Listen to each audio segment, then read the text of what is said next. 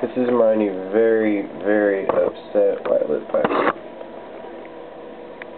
He's a really cool snake. I'm real stoked to have him.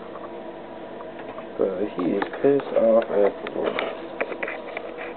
About five and a half feet long, really, really cool snake. They're also called the D'Albertis python. And he's been striking with the glass like crazy. So I thought maybe he would get one for the video. Maybe not. So he's about to shed. He's really deep in blue. I don't think he's gonna bite right now though. As soon as I turn on the camera, of course he wants to be all friendly. But they're really, really cool snakes. He fell. Where he at?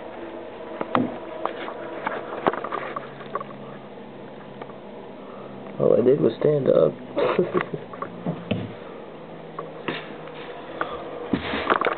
there he goes again.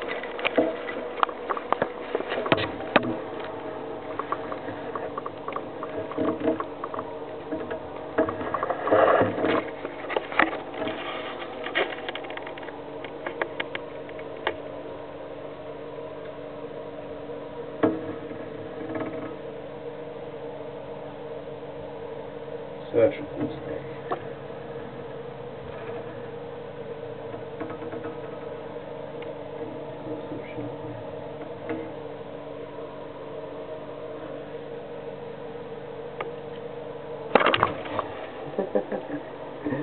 See, I told you he's pissed.